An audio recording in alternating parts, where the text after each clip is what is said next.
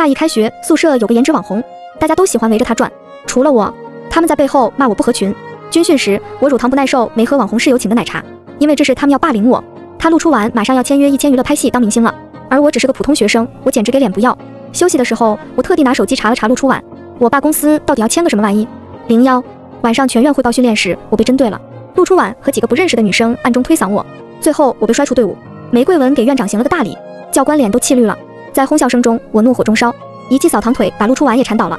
他裤子穿得松松垮垮，尖叫着捂住下半身，跌倒在草坪上，活像被人糟蹋了一样，泪眼朦胧地控诉我：“我哪里惹你了，宋依然？从入学那天你就处处针对我，我只是想安稳读完大学四年而已，非要把我逼退学吗？明星也是普通人，求你给我一条活路吧！”他眼泪一掉，立刻有班里男生冲上来按住我，掀了我帽子，我奋力反抗。后来是教官冲上来赏了他们几脚，把我拉起来。完蛋玩意，你们读书读的就是这些，上战场了也打自己人，打女人。那晚我们全班喜提加练，男生罚跑圈，女生站军姿。因为陆初晚一番茶言茶语，不知内情的同学恨我恨得牙痒痒，他却站在我身边，压低嗓子炫耀说：“你装什么？我最讨厌你们这种农村来的高考学霸，从小忍气吞声，到了大学就自命不凡。你再努力，连我家存款的一个零头都比不上吧？你现在道歉还来得及，就因为我不当你的舔狗，你要我道歉？”陆初晚理直气壮地说：“我是什么身份？”我难道不能过滤下身边的劣质同学吗？逼你退学都是小意思，想想自己哪做错了吧。我狠狠舔了舔唇。入学时候怕麻烦，我乱写的家庭背景，他还当真了，挺有意思的。果然这只是个开始。晚上回宿舍，我发现床单被褥全湿了，下面的书桌也遭了殃，课本笔筒泡在又腥又臭的泥水里，路人见了都恶心的想吐。陆初完给了我一个挑衅的眼神，身后的小跟班们立刻议论起来，活该，嫉妒婉婉长得好看，搞小动作遭报应了吧？看他那副穷酸样，连瓶水乳都用不起，肯定是嫉妒。一个农村来的酸鸡罢了，以为自己高考分数高，进了大学就有人围着他转，婉婉简直当代美强惨本人好吗？大明星低调读个书，还得被小人针对，我心疼死婉婉了。灵儿，陆初婉红着眼圈，像个受了惊的小兔子，颤颤巍巍的给我擦桌子。依然你别怕，不是大家说的那样，我知道你只是闹闹脾气而已，我也有错的，我帮你擦擦桌子，咱们还做好同学，好室友行不行？我去，陆初婉你干嘛放低姿态呀？你又没做错，我都忍不了了，还拿名牌围巾给他擦桌子，他脾气这么臭，自己退学呗。听到退学，陆初晚低垂的眸子里闪过一抹精明，满意的丢掉了围巾。见我要走，陆初晚拉住了我的衣摆。依然，你要是去找老师把事情闹大，扣了咱们班的训练分，都是我的错，我给你赔不是行不行？你原谅我。婉婉，你怕什么？咱们都是证人，你没招他没惹他，道什么歉？下一秒，我抬手把陆初晚桌上的东西扔了过去，玻璃瓶炸裂在那个八婆脚下，把所有人吓住了。哦，摔了瓶神仙水呀？你疯了你？第二个开口的人，我又砸了瓶面膜在他脚下。哦，海蓝之谜呀。我看见陆初晚脸色一僵，心疼得手，立刻攥紧了裤子，嘴上却装作宽容大度，依然没事的。如果这样你觉得好受一些的话，我扬手掀翻了他的香水架，将他的桌面扫荡一空，无数贵得要死的化妆品顺着门飞出去。那些说闲话的人躲还来不及，生怕碰到了要赔，一时间场面尴尬的可怕。陆初晚肉痛到捂着心口，跌坐到凳子上，努力维持着皮肉上的微笑，声音发颤的指责我：“宋依然，你欺人太甚了吧？”我冷冷的看着他，我傲慢，脾气也不好，这不是你说的吗？我还会打人，你知道吗？陆初晚触电似的从凳子上弹起来，目光里多了几分阴毒。他必然不会放过我。当晚事情闹大了，学院连夜请家长谈赔偿。我想了想，给我爸助理打了电话。你们公司哪个经纪人负责带陆初晚？喊他过来一趟，当我家长。零三一千娱乐的产业有很多，陆初晚是从旗下一个短视频平台火的。每年这样的网红多如牛毛。他们被推荐到一千娱乐签劳务合同之前，都是由直播部的艺人经理带着，只签网红合同。网红合同和正式的劳务合同有天壤之别，不知道有多少人竞争。因为艺人经理的工作量太大。他们最烦小网红给自己找事，李建伟便是艺人经理之一。他深夜推开办公室大门，陆初晚一下子惊讶地站起来：“建伟哥，你怎么来了？我以为老师联系的是我爸妈呢。也是，我爸妈都在国外度假，麻烦你因为这点事跑一趟。其实也没什么，就是我和室友有点误会，受了点小委屈。”他又开始演，李建伟却比我想象的脾气暴，二话没说，直接要扇陆初晚巴掌，被老师拦住了。老师都傻了，我说没说过你少给我惹事。同一批新人里就你最闹腾，几次了？你自己说说几次了？天天给你擦屁股，我是上班的。不是给你当后爹啊，你还能不能做这行了？陆初晚明明没被打，却捂着右脸退到一旁，默默流泪。老师急忙冲上来打圆场。不是的，不是的，是是宋依然同学砸坏了陆同学贵重物品，金额有点大，联系双方家长谈赔偿的。李建伟急躁地边掏钱包边问我，不好意思，赔你多少钱？下一秒，陆初晚从嗓子眼里硬挤出尖细又委屈的呐喊：谁给谁钱啊？到底是他宋依然要赔我钱啊？不是我惹事啊！李建伟愣住了，呆滞的目光在我身上扫了几圈，仿佛这才想起来什么。你是宋宋依然？我淡笑着走上前，两手挽着他的胳膊，对陆初晚说：“忘了给大家介绍，这是我小舅，爸妈都在地里忙着秋收呢。小舅来也行吧？”陆初晚身子狠狠晃了下，好似晴天霹雳当头一击，彻底懵了。零四，小舅，你说我要是不喜欢一个明星，能不能把他过滤掉啊？你是不是有很多办法处理这种劣质爱豆啊？这种人也要签约娱乐公司？李建伟脸黑得像锅底，陆初婉哪见过这阵仗，不停淌冷汗，急得脸都白了。这都是他说过的话，现在我原样还给他。不是的，依然，之前都是误会，我我中暑了，脑子不清醒说的那些话，你听我解释，建伟哥不是这样的。我气定神闲地看着李建伟，小舅，你这么宠我，那我讨厌的人，你该怎么处理？李建伟皱眉，擦了把汗，立刻低声说：“我明白，我明白。未来他合同还签不签？怎么推荐？当然得听听你的意见。”陆初婉猛然跌坐到椅子上，苍白的唇瓣颤颤巍巍合不到一起，受的打击太大，还没缓过来。我笑吟吟地掏出付款码递给陆初婉，来，要赔多少钱你自己扫码。至于签合同的事，得看我心情，你懂吧？第二天训练，陆初婉的态度一百八十度大转弯，乖巧到不行。他以为这样就能把我哄好了。可惜我的名声早被他搞臭，班里同学的目光并不友善。休息时，隔壁寝女生直接把茶水泼到我裤子上。对不起，手滑了，没办法，昨晚罚练太累。这一切也不知道拜谁所赐，嫉妒人家婉婉的美貌智慧，也不看看自己几斤几两。我扑哧一声笑了，招手把陆初婉叫来，指着二人道：“你解释一下吧。大家都以为我嫉妒你美貌智慧，现在我臭名昭著，可你觉得是这样吗？”陆初婉憋得整张脸通红，突然张着嘴，不知怎么解释。他自己做的妖，我现在全部反弹给他，不替我洗刷干净，休想签合同。怎么？我哪句话说错了？你少欺负婉婉，我们可都看着呢。我再次出声提醒陆初婉，说说是怎么回事啊？我现在心情非常不好，你知道什么后果吧？趁教官们去开会，班里凑热闹的女生围成了一个小圈子，把我俩围在中间，大有声讨的意思。陆初婉被夹在中间，左右为难，忽然恼羞成怒，低声吼了一句：“不是这样的，是因为我追求过宋依然，她拒绝了我，所以我们有些误会。”林武，我一口水差点没喷出来，围观的人惊得快瞪掉眼珠子，刹那间鸦雀无声。但明里暗里看我的眼神多了几分暧昧，少了几分敌意。陆初婉用颤抖的声音解释说：“求大家帮我保密，别录音，也别再提这件事了，否则我俩的前途都毁了。是我一时冲动才做了蠢事。现在我和宋依然说明白了，我们都想安安分分的读书。从前真的是误会，谁也没有对不起谁。”我立刻问他：“你跟我开玩笑呢？”没想到身旁的同学小声说：“我知道你们搞文艺的多少有点，但也不能闹了半天竟然是这样。你俩的事我们跟着掺和什么？行了，大家都是同学，我们不说就是了。”陆初婉冲我笑了笑，眸底尽是得意。他既把自己的错事一笔带过，又间接恢复了我的名誉。要是这是在闹大，我也得陷入性取向的话题里。脏水已经泼了，要死一起死，怎么都对我没好处，这么恶心呢？他这样还想签我家公司？原本是他带着宿舍同学排挤我的，那天之后风向竟然变了，他成了谨小慎微、受委屈的人，立着不被世人理解的美强惨人设。明明可以踏入娱乐圈飞黄腾达，却非要务实的读完本科，不争不抢，人淡如菊，真真让我大开眼界。直到军训结束的那一晚，他终于不装了，坐在我身边低笑着说：“你不知道吧？”办公室那晚，我录音了。我挑了挑眉，啊，那又怎样？昨晚我已经匿名把录音投给了一千娱乐，以私乱公，听一个黄毛丫头的话，给公司造成巨大的损失。你说你舅舅的工作还保得住吗？我饶有兴味地看着他，请问您给公司带来什么价值了？那我就给你看看吧，没有艺人经理，我照样有被签约的实力。真当我怕你？说完，陆初婉柔柔弱弱地摘掉帽子，在射灯的映照下，缓缓走向操场中央。军训结束，有文艺晚会，各连出节目评优，评上了有奖金。可不知怎地，晚会排好的压轴节目开了天窗。众人急成一团时，陆初婉恰好站出来救场了。男生们吹起口哨，主持人兴奋地说他要跳舞。粉丝团准备好了拍摄，而第一排主席台上坐着校院领导、教务主任，还有校企合作代表。我眯起眼睛仔细看，发现合作代表好像是一千娱乐的高管，叫什么来着？逢年过节总去我家捡草坪那群人里肯定有他。零六，陆初婉跳了首《鸡鸣乐》，下面的人激动到不行，起哄喊着白月光、素颜女神。底下有男生小声喊出道吧，出道吧。陆初婉香汗淋漓地跳完。边喘边给坐在暗处的我一个挑衅的眼神，同时身子微微转向主席台。主席台上高管的目光似乎被他吸引了，我立刻明白了什么意思。想了想，我也走到了操场中央。不会唱不会跳，但我音感还不错。我从口袋里掏出了卡祖笛，《甄嬛传》看过吧？配音会吧？绝对音感拿卡祖笛给《甄嬛传》配音没听过吧？我接了大屏幕，在一片爆笑中拿卡祖笛给《甄嬛传》配音。老师皱眉，主持人懵逼，但同学和教官们爱看，在后面使劲鼓掌，硬是让我演完了这个节目。陆初晚还白月光。这天下终究是搞笑女更胜一筹的。一段吹完，我故意拿起麦克风问高管：“你觉得我吹的怎么样？”等高管看清我的脸，脸上冷汗都流下来了。非非常好，跟前面的季明月比呢？说说你的看法。坦白的讲，都是短视频的风格，但搞笑配音比单纯跳舞受众更广，热度更高。我认为你的节目更有前途，可以评上优秀节目。陆初晚一下子脸色变了。那行，你说我这么优秀的节目，你没点表示吗？比如直接签约娱乐公司什么的？你不是校企合作吗？刚好从文艺晚会上挖掘个新人走，合情合理吧？我看见陆初婉一下子站了起来，两手死死攥着拳，脸上紧绷的皮肉仿佛下一秒就要炸裂出狰狞的嘴脸。他幻想好的路，一手记明月，白月光出圈，在粉丝的簇拥下被高管当场钦点签约，不签约也能闹出热度来，反正都高调打我的脸。现在我走了他的路，让他无路可走，他能不生气吗？这这提议有些大胆。高管几次用目光询问我，擦汗的纸巾都抽了一大团。我估计他们校企合作就是为了来学校打广告的，他没那么大权力直接签人，所以我打算点到为止。没想到下一秒，教官从人群里大喊：“这还不让宋依然出道吗？宋依然出道吧！”高管目光一沉，缓缓拿起麦克风说：“原本没这个打算，但如果是宋依然的话，我们可以考虑一下。”陆一婉身子狠狠颤了一下，好像世界都崩塌了，双眼被恨意染得猩红，恨不能把我生吞活吃了。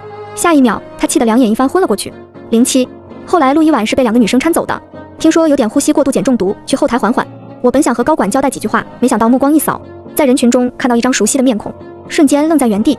就你知道那种尴尬的感觉吗？搞笑女抛弃包袱大杀四方，却被暗恋的男神看见了。在他面前，我可一直是柔弱的文静淑女，连大声说话都不会。人群渐渐散场，我看见何玉洲朝我靠近，我下意识的转身想走。为什么突然不联系了？为什么来这所学校读书？你变了很多，是不是因为何玉洲？你知道绝交是什么意思吗？我变不变关你屁事。我忘了讲，喜欢何玉洲是十八岁之前的事。我今年十九岁了，他算个什么东西？从前他把我骗得团团转，利用我去争他家的遗产。再见面，我恨不能锤死他。何玉洲下意识地拉住我的衣角，洗得发白的袖口里露出一只苍白修长的手，手背贴着输液胶布，微微渗血。道歉，我手术刚刚恢复。从前那些事，我向你道歉。如果你愿意的话，不愿意，我揪住何玉洲的领口，硬是把这个一米八几的病号拎到了角落里。少跟我装深情，你已经继承了千亿家产，迈向美好未来，还想利用我什么？呃，不恶心。何玉洲半边身子陷在黑暗中。低垂着眸子，小心翼翼地问我：“送你的笛子明明还留着，真的不能再弹弹了？你知道我为什么留着它？”我把卡祖笛掏出来，抵在他身上。你家做的笛子质量真不错，我天天揣在口袋里。我想在见到你时把它捅你肚子里，还成年礼物，你恶心谁呢？趁何玉洲正愣着，我又说：“反正我也是假的，我一点不淑女，我记仇，脾气坏，惹急了会吃人，都是为了追你才假装爱学习。现在一拍两散，你也不喜欢这种女生吧？”何玉洲的手慢慢滑了下去，微长的刘海遮住眸子，目光空洞地看着远处，轻声道。其实你什么样我都喜欢的，滚滚滚！我狠狠翻了个白眼，转身就走。临走前感觉手上湿乎乎的，嫌弃的拿他衣服擦了擦手。刚回宿舍，学院群一大串消息弹了出来，我和何玉洲的见面不知被谁偷拍了，挂在爆料墙上。他穿着和教官很像的衣服，看不清脸，和我在角落里举止暧昧，被拍了不少错位图。热评第一条是，我越看越觉得那是两条腿架在男人胳膊上。他俩走之后，地上竟然有几滴血。宋依然这是忍不住了，去给教官送一血吗？零八，谁敢造谣这么离谱的事情？血迹是什么？我低头一看，指甲上还真沾了血迹，鬼使神差的，我又掏出卡祖笛一看，上面也有血迹。我捅何玉洲的手术伤口上了，那也是他活该，没心肝的人，死活干我屁事。我心里有点乱，打算明天再处理谣言。没想到关灯前，室友阴阳怪气的骂了一句：“侄女装机，小心天打雷劈。”我立刻睡意全无，冲到陆初婉的床前，把她拎起来，怒道：“来，来，你解释一下，你今天把这事解释清楚，咱俩到底有没有关系？”陆初婉早被我气得像个打了蔫的温鸡，呆坐在床上不敢说话。先前骂我的顾姨盘腿坐在床上。我说错了吗？你利用婉婉对你的感情，又水性杨花跟教官搞到一起，不就是为了抢他的热度，抢他的出道吗？你简直登月碰瓷，心机婊！早点滚出我们班！我忽然笑了，问他行了。听说文艺汇演的优秀节目奖金有五万，咱班二十个人，平均下来每人多少来着？我要是滚出咱们班，奖金我独吞了，好像也不错。顾姨一下子愣住了，紧接着头顶的大灯瞬间熄灭，寝室长重重的蒙上被子，闷声道：“都睡觉，少阴阳怪气的。”宋依然给咱班争荣誉了，赚奖金了，他凭什么走？黑暗里，顾姨恨我恨的眼睛要冒绿光了。我盖上被子，冷冷嘲讽他：“听见了吗？看不惯我，你走呗，高尚点，奖金我也少分一份。”后来我只听见几声重重的砸枕头声，顾姨气得没再说话。舆论发酵到第二天送别教官时，别的教官都整整齐齐上大巴，唯独我们连的教官顶着大太阳做俯卧撑。路过的学生看过爆料墙，暧昧的指指点点。教官的班长唾沫横飞的训他：“甭管照片是不是真的，只要跟学生传出不好的消息，都是教官的失职。”听得我一下子心头火起，正要上去理论一番。身后突然传来一道阴质的声音，所以你喜欢的人是他，传闻都是真的。零九，何玉洲不知什么时候出现在我身后，身上还穿着那件洗得发白的条纹衬衫，多年前我送他的礼物。我烦躁的直接回怼他，你不带脑子的，什么传闻都到你耳朵里了？昨晚上照片里的男人是谁？你不知道吗？我气得立刻联系辅导员，要当众澄清。结果辅导员说爆料墙是个什么东西，他没空陪小孩子玩，顺便奉劝我，最近我的风头太盛了，我又不是陆初晚那种明星，一个学生就该本本分分的学习，少争风吃醋。顺便管好个人作风问题，女生要自尊自爱，把给我气笑了。我自始至终都不想动这些垃圾，脏了自己的手，他们却以为我好欺负。我直接联系了律师，在爆料墙发澄清，查投稿人 IP 给他发律师函。没想到有人比我更快。当天下午，校院领导和辅导员恭恭敬敬地打电话把我请去了办公室。长长的办公桌坐着一左一右两尊大佛，左边是我们连的教官李进言，也是我的初中同学。他肩章简单，但家庭背景红得要死。领导一听他家里那位，腿都吓软了。挨罚是挨罚，可谣言给他带来影响。必须调查清楚。右边是何玉洲，刚刚大手一挥，给学校捐了八千多万的实验室，把副校长感动得老泪纵横。何玉洲就一个要求，他昨晚来见女朋友，被拍到了照片，爆料墙是怎么造谣来着？辅导员满头是汗，掏出手机递给我们说，不瞒几位，咱们校的某些学生素质太差，天天在爆料墙胡说八道，这么离谱的造谣，我立刻删除了。你刚才不是这么说的呀？当我健忘啊？你不是不认识爆料墙吗？我一看他手机，嚯，原来他就是爆料墙的运营者。那刚才跟我装什么呢？十，辅导员哆哆嗦嗦的解释，确实是我的工作失职。爆料墙是校领导创办的，每个学院轮流派人运营。我刚接手工作还不熟练，几位看，现在谣言已经删除了，这事是不是可以放下了？连您都相信我是个不自尊自爱的女生了，这事给我造成了巨大影响，我不该追究到底吗？我敲了敲桌子，既然校领导创办的爆料墙，校领导不作为，那我就自己查。我已经联系好律师了。副校长咳嗽了一声，解释说，其实我们能从后台查到的，造谣的同学已经找到了，都是同学间的小打小闹，让他来给几位当面道歉吧。何玉洲沉声道，请他公开澄清，公开道歉。万幸这件事仅在校内传播，如果在网上扩散了，会给学校声誉带来巨大损失，应该开除学籍处理。李静言说，造谣女生的清白，抹黑军人形象，这也是小打小闹，你处理不了，我来处理。副校长耷拉着脑袋，连连答应说好的。那天中午，全校广播投放了造谣者的公开道歉，包括公布自己的姓名、专业以及照片拍摄始末，录制成的视频会在图书馆外的大屏滚动播放一星期。造谣者是一个和我完全没有交集的男生，不想被退学，只有低头认错，接受群嘲。我认出了他，也是陆初晚的小跟班之一。真行啊，你好歹是考进九八五的大学生，三观都被狗吃了。何玉洲亲眼看见道歉视频播放才肯走，临走前突然掏出一张银行卡塞到我口袋里，你拿好，不够花再找我要。他看着我，点漆似的黑眸里一阵欲言又止。我把银行卡还给他，何玉洲，我心平气和的跟你走到这里，你该知道是什么意思了吧？别纠缠了，今后朋友都没得做。我和他做了十几年邻居，以为他是个父母离异，每月抚养费省着用的苦命校草，长得帅，学习又好，我简直捡到宝了，拼命把他介绍给全家认识。后来我才知道他是私生子出身，过世的生母曾是爷爷收养的大学生。他接近我只为了拿一份准确的 DNA 报告。那时何玉洲即将大四，我一边准备高考，一边操心他毕业找不到工作，人家却拿着亲子鉴定风风光光继承家产去了。这张卡本来就是要给你的，里面是。行，反正你有钱，我就当分手费了。那你可以走了吗？我话音刚落，一道柔柔弱弱的声音从身后传来：“依然，你别跟男朋友生气了，没钱也不是他的错。”陆初晚莫名其妙的冒了出来，拿着手机对我说：“你看他衣服袖子洗得发白了，都不肯换。”还攒钱给你，他肯定是爱你的。要不这样，我把之前你赔的钱都还给你，你们两个千万别因为钱的事分手。哦，对了，你男朋友还不知道吧？你之前赔了我几万的化妆品，男朋友辛辛苦苦攒的钱，不能这么草率就花掉了。依然，你得学会心疼他。十一，陆初晚这弯弯绕绕的，指桑骂槐谁呢？他以为我跟何玉洲在闹分手，因为没钱，还暗示我乱花钱，让何玉洲跟我发脾气。依然，你就收下这钱吧。哦，对了，忘记告诉你，我马上要签约新的经纪公司，十一进组拍戏了，听说你也要出道。以后我们会不会成为同事啊？陆初晚调皮的对我眨了眨眼睛，小声说：“你男朋友很帅哦。”我也不知道何玉洲怎么听的这话，他在我耳边低低的问：“几万的东西你还要亲自赔？家里不管你了？”陆初晚从香奈包里掏出几张名片，塞进何玉洲口袋里。我这里刚好有几个联系方式，如果缺钱的话，可以找找他们。小帅哥，你要照顾好我们依然啊！临走前还对他暧昧的眨了眨眼。等他走远了，何玉洲皱着眉问我：“你读的究竟什么学校？你同学精神状态是正常的吗？他可能活在自己臆想的世界里。”我用手指着太阳穴旁边转了几圈，就像你一样，你还总以为我会原谅你？我读什么学校干你屁事啊！本来我就不爱学习，我去清华北大当倒数第一你才开心。我在现在这个学校挺好的，您别操心了。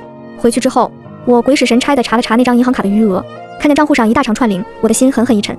这人是不是把所有钱都送我了？他有病吧？他不是碰瓷我吧？因为临近十一假期，学校提前发了优秀节目的奖金，我打算趁着当天下午班会给大家分了。我无意见过寝室长还在用翻盖手机，为了帮他瞒住这件事。把钱换成了现金，没用电子支付。没想到在宿舍换身衣服的功夫，放在背包里的钱不翼而飞了。宿舍里安安静静的，我换衣服的时候没听见谁回来过呀。这地方也没个摄像头，直觉告诉我，估计又是哪个不长眼的人给我挖坑。我暂时没报警，等着看这人表演。下午班务会上，我说钱被偷了，果然没人信，故意第一个站出来阴阳怪气我。你不想跟大家分奖金就直说，没必要弄这些借口。要是真当盗窃报了警，最后钱在自己包里找到，面子上可说不过去。陆初晚按住顾姨的手，站起来装好人说，大家别乱猜了。依然家里爸妈都是种地的，小舅可能刚丢了工作，生活确实有难处。他不想的话，就别逼他了。这钱我来出吧，让大家拿了奖金过一个开心的假期。陆初晚立刻被众人欢呼簇拥住了，我在一旁冷冷看着，心里说不上来什么滋味。他们要是知道我口袋里揣着多少钱的银行卡，恐怕下巴都要惊掉了。十二，学校里有 ATM 取款机，陆初晚说去取现金，让大家等他，用手机支付呗，现场让大家扫码呀。我冷冷地说。陆初晚好整以暇的笑容出现一丝裂痕，胡乱搪塞说。取现金吧，我微信里钱不够了。现金也很快的。我看着他，他看着我，眼神充满了闪躲和心虚。偷了我的钱，假装好人发给大家，还毁灭证据，他当我是傻子吗？我什么时候揭穿他比较好呢？等陆初晚一走，那些兴奋的男生又开始议论我，觉得我这么自私刻薄，不配留在班里。我让辅导员先停下，站到了讲台上。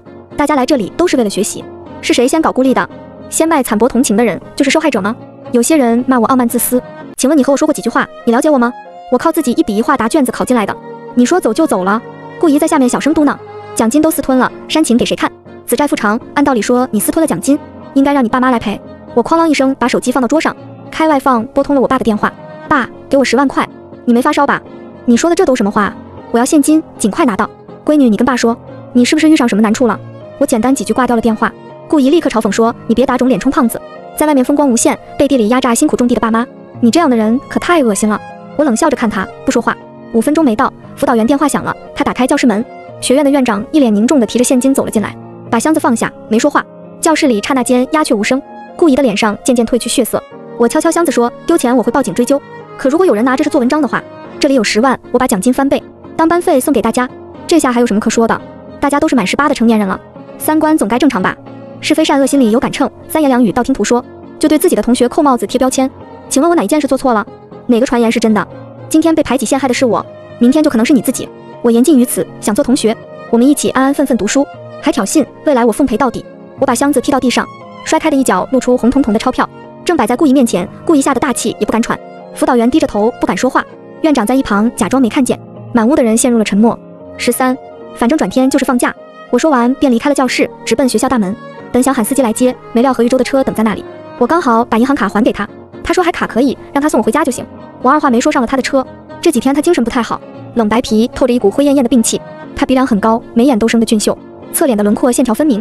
下颌如削，笑的时候带点痞气，不笑时整张脸透着股冷若冰霜的气息。我见他不停地按太阳穴，没好气地问他：“我那天捅你伤口？”司机踩了脚刹车，忌惮地从后视镜看了我一眼。何玉洲的眼神骤然冷下来，不容置喙地对司机说：“听你该听的话，没有下次。”车里瞬间严肃的气氛让我也跟着打个颤。他果然是变了，变得好陌生。车子平稳之后，何玉洲揉了揉眼，略带委屈低声道：“没什么事，就是伤口发炎了。我撑一撑就过去了。”我直接伸手掀他的衣服，崭新的纱布上微微渗血。血迹还是淡红的，没干。刹那间，我有些尴尬。何玉洲轻声温柔道：“我没骗你，说过的，我再也不会骗你了。”我烦躁地把头扭向窗外，我妈妈的视频这时播了进来。她讲话一直很大声，在寂静的车里听得很清楚。闺女，你到底什么事啊？手里连十万块钱都拿不出来。我听说你还要出道，出什么道？你是不是偷偷借高利贷还不上了？我尴尬地调小了点声音：“妈，我只是手里没现金，你能盼我点好事吗？那你出道又是什么情况？你那智商追个何玉洲都被骗，进了娱乐圈不得被耍着玩啊？”可别丢人，让我操心了。何玉洲突然开口说：“阿姨，我在依然旁边，这事我是不是和您解释一下？”我隔着电话都能感觉到我妈妈的尴尬。她啪的一声挂了电话，气氛在这一刻尴尬到了顶峰。我低头假装看手机，给我爸助理发消息，让他去查一查丢钱的事。无意间，寝室长李欢欢的消息弹了出来，打开后是一条快音链接，陆初晚正对粉丝们宣布签约新东家十一要到象山影视城拍戏的消息。只不过他口中我成了恶人同学，靠社教官拉拢人心，给他制造麻烦，处处针对他一个自强不息的好学生。听说我要签约一千娱乐，也是靠一路睡进去的。含沙射影，我和某位高管有不良交易。十四，我真的服了这个女人，她有一天安分的吗？五万块钱的事还没找她，她没完了是吗？视频可能做过公关，评论转发都被锁了，目前全网还看不到我的负面新闻。我不想放过陆初晚，是他先把同学矛盾上升到网络舆论的，别怪我不客气。原本十一计划休假，我转为联系李建伟，让他帮我找象山影视城的剧组，我要去拍戏。上次我吹卡祖笛的视频火了，我便随手把艺人信息挂在李建伟那边，没想到他运营出了不小的流量。听说下个月要升职，他现在对我的是很上心。当晚找好了几个剧组的配角要我挑，我出五倍价钱买了陆初晚剧组几天。楚门的世界看过吗？我送他一份大礼。早上六点刚过，我连收了好几条李欢欢的消息，倒是挺意外的。打开后更意外，他告诉我，除了昨天发的快音链接流量太大，其他造谣的视频都被他举报掉了。他连夜打电话给班里同学，大家一起举报掉的。他问我还有没有能帮忙的，班里有几个人愿意做证人帮我澄清，露脸也行。我正跟李建伟计划着怎么气死陆初晚，一下子愣住了。心里有些五味杂陈，我不知道他是真心的，还是像那些人倒贴陆初晚一样有意讨好我。那天开拍后，陆初晚看见搭戏的配角是我，脸一下子绿了。我毫不犹豫地把茶泼到他脸上，就是不说台词，不说台词，导演就得重拍。如此反复几次，陆初晚怒了：“你故意针对我的吧？这是哪里来的群演，还不换人吗？”导演直接喊：“是不是群演宋依然老师的台词有点少？那么把陆老师的词加给他吧。陆老师不用说词了，咱们再来几个机位，多拍拍陆老师被泼的镜头。”陆初晚眼珠子都快瞪出来了。以为自己幻听了，不过片刻，他阴阴一笑。半个身子故作柔弱地跌倒在地上。我没问题的，导演，多拍几次吧。我对艺术要求很高的。不远处，他助理悄悄拿起了手机偷拍。我二话没说，又泼了陆初婉一脸，凑到他耳边轻声道：“踩着我签约新东家，现在又想在网上搬弄是非了，戏弄同学还不够，把网友也当猴耍。我什么身份？你什么地位？我懒得跟你计较，你还来劲了？五万块钱能判三年以上十年以下，你猜我查不查得到钱是谁偷的？”陆初婉猛地咽了咽口水，额头划过一滴冷汗。十五，这是我稳赚不赔啊！我要是查出来呢，我一定会曝光，断你的明星梦。我要是查不出来，你有病吧？我不知道你在说什么。陆初婉一把推开我，头也不回地进了休息室。没多久，我收到李欢欢的消息，他说五万块钱找到了，就是有些奇怪。陆初婉说有面膜掉在床后面了，他用扫把扫，竟然扫出了五万块钱。我不禁冷笑，就他这心态，还跟我耍阴谋诡计。等拍摄结束，我让导演暗示他，制片人晚上想见他一面，塞了房卡。九点一过，我房间的门果然被敲响了。陆初婉穿着单薄的吊带连衣裙，满脸羞涩地站在门外。制片你好，我是这部剧的女一号，戏接的匆忙，我还没看完所有剧本，想和您一起读完。门开的一刹那，他脸上轰然褪去血色。今天好玩吗？我玩的挺开心，看你跟耍猴一样上蹿下跳的，我斜倚在门框上，怎么办呢？我就是你口中最讨厌的农村人，偏偏我家挺有钱的，我就买了个剧组玩玩。听说你是这个剧的女主角啊，宋依然，你不怕我把这些事发到网上吗？你可真是阴魂不散。是谁一而再、再而三的挑衅的？我拿起了手机，监控画面里是陆初婉一脸娇羞的捧着剧本敲门，再一切换是他助理闪转腾挪，拍摄一些有争议的片段，两人密谋拼接剪切的录音。你发呀，咱俩比比谁写的文案更精彩。我能请到全国数一数二的公关团队，你猜他们会怎么安排你？操控舆论好玩吗？我让你尝尝报应如何？十六，陆初婉一下子跌坐在地上，目光呆愣愣地望着我。这是我第一部剧，我没想到会闹成这样。你真是制片人，那你能不能放我一马？我我正要开口，场务捧着厚厚一沓剧本出现在走廊里，错愕地看着我俩。你们干什么？这不是制片人何总的房间吗？陆初婉一下子从地上跳了起来。你说什么？何总？那宋依然，你你又是什么东西？我还没开口，便看见何玉洲缓缓地从远处走来。制片人何总不会是他吧？陆初婉也看见了何玉洲，目光飞速闪烁，然后一把拉住了我的手。依然，咱们好好拍戏才是正途。找制片人晚上聊什么剧本啊？你快跟我回去啊！你不是你不是依然的男朋友吗？你就是制片人何总？天呐，还好是你，不然依然要被别的男人潜规则呢。我真的忍不了他胡说八道了，扬起手要扇他巴掌，没想到何玉洲淡淡一笑，道：宋依然主动来被我潜规则吗？那真是求之不得。她这样的女人我才看得上，否则难道是精神有点不正常的陆小姐你吗？我发现你的假话怎么张嘴就来？陆初婉瞳孔骤然放大，几乎难以言语，脸色像头顶大灯一样惨白。何玉洲抓着我的手，食指在我手心勾了几下，一瞬间浇熄了我心中的怒火。挺神奇的，这部剧是我全权交给导演操作的，没想到选了这么一位有意思的女主角。陆小姐，不如继续拍下去吧，我期待你的演技。何玉洲周身泛起骇人冷意，唇角的淡笑藏着无尽的嘲讽，仿佛捏死陆初婉是再容易不过的事。那股让我陌生的感觉又来了。等陆初婉一走，我飞速甩开了他的手。何玉洲也不恼，温柔道。他是不是在学校刁难你很多次了？跟这种人何必浪费时间，解决掉就好了。我不太爱听，随便说了句，跟您在商场尔虞我诈不一样。我这就是一群小孩子，三观不正。尤其是陆初婉，让他尝到教训就完了，我还能毁他一辈子。我家有权有势，做这种事脏了自己的手。你不做，那我来做。反正我在你心里是个恶人了。我白眼要翻到天上去，何玉洲却话锋一改，突然问我，不然这样，我把剧组送给你，反正也是改编你喜欢的小说，送你当礼物的。我心中有个不好的预感，你该不会翻拍的是《良妻指南》那本小说？是啊，还挺意外你喜欢这种小说，网上都在骂作者宣扬女德搞破案呢。我从前为了在何玉洲面前装三从四德乖乖女，特地选了这么一本槽点满满的小说挂在嘴边，他还当真了，这句拍出来不得被网友骂死啊！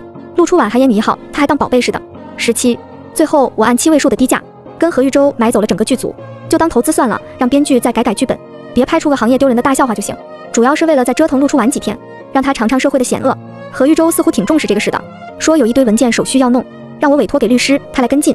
我也没多想，陆初晚也发现这个事了，但他赔不起天价解约费，被经纪公司硬逼着拍下去。十一结束也没去上课，估计恨我恨的牙都要咬碎了。十一之后，班里人对我态度不说有多好，但转变还是很明显的。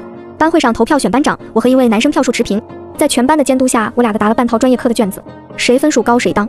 我低了零点五分，被推荐当学委。刚入学的时候，我记得他们呼喊着要大明星陆初晚当班长，无脑跟风。我也不要求大学班里多么有爱热情。像今天这样公平健康的同学关系就够了。有几个人好奇过我的身份，因为大部分人都不再讨论这个话题，也渐渐淡了下去，一切归于平静。陆初晚十一之后就没回来上学。何玉洲那边动了些公关，给他事业带来不少麻烦。听说他爸妈都出面找媒体了。他爸爸是学术界知名教授，终于挽回了一些路人缘，给他接了一档选秀的综艺，这就算正式出道了。不过因为买的宣传稿太多，班里人偶尔提起这件事，还是很羡慕他能当大明星，觉得出道好赚钱好。陆初晚几次在班群里分享选秀报名的广告。他们被勾搭的有些心动。李建伟也问我要不要参加选秀，反正是小胡豆和新人的大杂烩，他觉得我能火，我却跟他讲要退出娱乐圈的事，让他沮丧了好久。可是本来我也没踏进娱乐圈啊，就一个卡祖笛火了，为了气死陆初晚而已。选秀我跟着凑什么热闹？没想到转天陆初晚上个热搜，他在微博公开喊话给我下战书，要在选秀节目上和我 battle。十八，他热搜是自然流量，李建伟做了些公关就弄下去了，阅读量不多，事情没闹大，却挺挑衅我的。不过选秀录制的当天是四六级口语考试，虽然我才大一，但录取的英语分数已经超过学校线了，是可以大一考四六级的。班里大多数人都可以考，陆初晚这是逼我不考试，傻子才跟他上头。我肯定是要考四六级的，但班里有些人动摇了，想报名海选第一轮试试。我真的怕他们价值观被带歪，给那种选秀节目凑什么热度啊？冠军是几家大公司内定好的，素人哪有机会？大家都是同龄人，我觉得光劝没用。于是，在报名截止的最后一天，让李建伟弄了条热搜：宋依然宣布退出娱乐圈。我也没多大名气，多数人觉得莫名其妙，但我那些同学肯定看见了。我在热搜里写明理由，我有自己的人生规划，不会盲目跟风。四六级当然比参加选秀重要，希望看到的人有所触动。至于陆初晚，他还以为自己赢了，把我气退圈了，沾沾自喜。我直接把网剧的宣发放了出去，原著那些黑粉一拥而上群嘲他，让他像个丑闻似的挂在热搜上，整整一晚。第二天见了人都得低头走，估计他心态要炸没了吧。我让他死分分钟能办到，最好别再惹我。我兴致正浓，忽然收到了李静言的短信：“你男朋友家那群老东西，真是吃人不吐骨头啊！原本是查税，竟然还查出命案，他们是不是疯了。你以后嫁进何家要小心点，这一家子除了何玉洲没一个好人。这什么故事？干我屁事！”我回他：“我跟何玉洲早绝交八百年了。”李静言回我一串问号：“你妈妈不是说要他拿整个何家当聘礼来娶你吗？那小子反悔了。”十九，李禁言上学晚几年，后来入伍结婚都在我前面。他老婆是我妈妈家的亲戚。因此两家经常走动，他消息很灵通，但聘礼是什么事？我怎么不知道？李禁言飞速撤回，可我已经看见了，我心里有点乱，正要播视频给妈妈，突然微客又弹出了一条热搜：深海赛斯集团全球供应链停摆，新任 CEO 何玉洲退出。上一秒还负心汉渣男，下一秒他就倾家荡产扫地出门了。何玉洲在搞什么呢？我给他打了几个电话都没人接，他助理也联系不到人。我想起他给我那张天价银行卡，于是匆匆拿着跑下楼，没想到在楼下见到了何玉洲，他倚在一辆旧 SUV 上。入目是一双很干净的白球鞋，水蓝色的牛仔裤包裹着一双看不着边的长腿白衬衫的袖口卷到小臂，一排整齐莹润的纽扣在阳光下闪光。他微长的黑发遮着满是笑意的眸子，直勾勾地看我。上车吗？反正周末了，带你去玩。我满肚子的疑问，冲上去把银行卡递给他，说了是你给你的，想还给我？那上车陪我度假散散心。何玉洲，我不知道该骂你活该还是钱你拿走，别来跟我卖惨。何玉洲不说话，跳上车后敲了敲副驾的位子。我犹豫了一下，还是跟他走了。我怕这哥想不开跳河自尽去。我可不想给他收尸。路上，我凶巴巴地问他：“你是不是跟我妈妈说过什么？什么聘礼的？然后骗了我全家？”何玉洲慢慢开着车朝度假村走，笑道：“不知道。”好长的沉默之后，他突然说：“我只是想给你全世界最好的，那些脏烂发臭的，我就亲手洗干净再送给你。我要把全部都给你，这辈子就赖上你了。”我怎么听都觉得这话不对。看看手里的巨额银行卡，我有个离谱的念头，拿出手机悄悄给律师发了个消息。当时买剧组办手续的律师，度假村信号不好，律师打了个电话。声音断断续续的，我只记得最后一句是：整个何家，他拥有的一切早都在你名下了。二十，何玉洲停车落了锁，转过身认真的看着我。我其实不想争的，我妈妈临死前都惦记着遗产、权势那些遥不可及的东西，可我不一样，我只惦记你一个，触手可及，我还争什么？可我不够强大，所以从小到大谁都能抛弃我。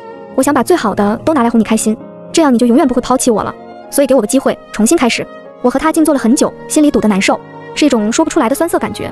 你这样说，还是让我觉得喜欢你那几年，我像个傻子。你这操作让我有点喘不过气，给我点时间吧。何玉洲垂眸露出一抹苦笑，缓缓打开了车锁。我留下银行卡，头也不回的走了。没过半小时，李欢欢问我在哪，我反手一个定位发过去。李欢欢立刻回复：那就好。我听说你要退学了，家里的情况还好吗？今早陆初晚突然被请来做优秀新生演讲，强调大学生要独立自主，像他这样边工作边读书，不靠家里才是优秀的。我觉得是谬论，他分明在炫耀，他污蔑你靠家里关系横行校园。现在家里出事了，自己书都读不下去，所以你遇到什么困难了，我们都愿意帮你。陆初晚烧糊涂了吗？谁给他的胆子胡说八道？我噼里啪啦一顿打字，度假村的信号却越来越差，不知道发出去几条，我只能约第二天最早的专车回去。没想到第二天六点刚过，落地窗被人敲响了。李欢欢带着八九个同学站在窗外朝我招手，家还在本地的我都叫来了。你别怕，有我们在，你不会退学的。李欢欢从帆布包里掏出一个沉甸甸的砖，还有这个，你记得吗？当初的十万块钱我们带来了。紧接着。我看见他们每个人从背包里掏出一沓钱，整齐的码到我房间里。现金怕丢了，所以我们每人带一点。你数数看，十万块一张不差的。就算家里出事了，这钱还能应急。二十一，我一下子不知该说什么，眼圈微微红了。班长叉着腰对我说：“你别哭，陆初婉不知道有什么好炫耀的，我们可是正经985的大学生好吗？三观正得很，不会再被他一个颠倒黑白的戏子洗脑了。以后你就大大方方来读书，我们班的同学谁敢欺负？我破涕为笑，连连点头向他们说了实情，把他们震惊的合不拢嘴。后来我才知道是陆初婉家里给了些压力，故意传出这样的谣言。院领导两边都不敢得罪，干脆装聋作哑看两尊大佛斗法。我也不怪他们，只是反手给家里发了条消息：从今天起，行业里谁再敢用陆初婉，就是跟一千娱乐作对。我不介意用各种手段砸了他的饭碗。娱乐圈这块蛋糕，他陆初婉连渣也别想舔。那天之后，何玉洲竟然不怎么纠缠我了。我们的交集只在新闻里，每隔一两个月就有经济头条：深海塞斯的某某高管因为什么罪名获刑，接二连三的深挖。这简直是个吃人不吐骨头的修罗场。何玉洲确实变了，他不伪装的话，没办法从这群老东西手里活下来。他面对的事情比我想的多。每一次新闻的同时，我名下账户的存款也越来越多。询问律师才知道，何玉洲当时给我的东西几乎掏空了整个集团，我要还给他，手续异常麻烦。他的助理也总借故不出现，我只能一次又一次联系他。这次真是被他粘上了。陆初晚倒是没什么消息了，偶尔见他跟着父亲的学术讲座露一两脸，在小绿书上铺天盖地的发通稿，除了路人手滑点赞，没人敢给一点热度。等临近期末，班里所有人都忙着考试内卷，唯独陆初晚，因为缺课太多，被取消了考试资格，面临留级。期末之后，我去文印室送卷子，路过办公室时，听见他爸爸和领导谈话，语气严肃：“初晚这样的成绩不能免试吗？